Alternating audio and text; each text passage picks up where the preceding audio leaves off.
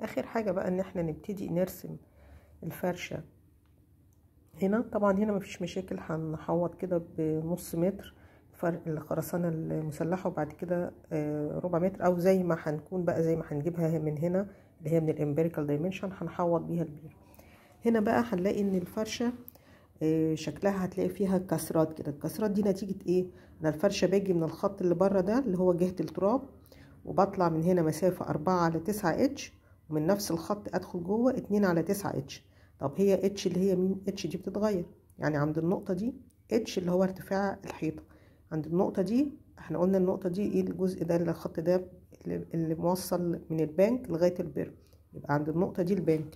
أنا لو طلعت هنا الاتش هي المسافة. من هنا من عند البنك اللي هي منسوب تمانية لغاية فين؟ مش لغاية ال bed لغاية منسوب التأسيس. ما هي دي برضو ال wall دي تحتيها.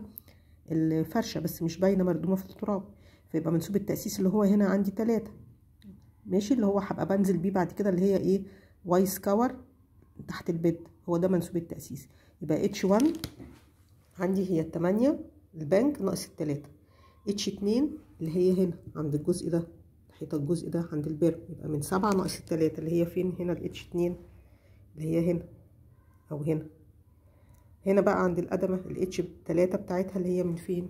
هتبقى من وش القدمة اللي هي منسوبها أربعة لغاية منسوب التأسيس برضو اللي هو تلاتة. يبقى اتش تلاتة اللي هي من أربعة لغاية تلاتة. صح كده؟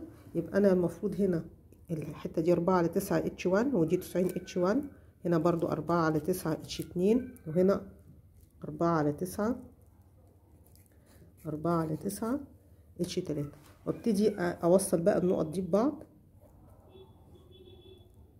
كده فهيطلع لي بالتالي الفرشة شكلها فيها الكسرات اللي هي مرسومة دي.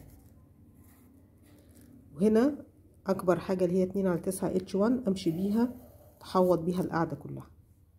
هنا نفس الكلام اتش وان اللي هنا اتش وان هنا هي نفسها اتش وان هنا و اتش اتنين هي نفسها اللي في ال downstream وبالتالي هيطلع الشكل بتاع القاعدة.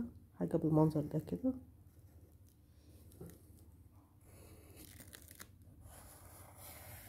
في هنا بقى الويب اللي هو العصب اللي هو ال counterfort بيترسم قدام كل إيه؟ قدام كل girder counterfort الكلام ده لو أنا أسقطته هنا في ال downstream النهاية بتاعت ال ال القاعدة هنا لازم تكون هي النهاية طبعا دي. وبعدين هرسم بقى إيه؟ العصب بتاعي. وأبقى كده إيه؟ الشكل خلص.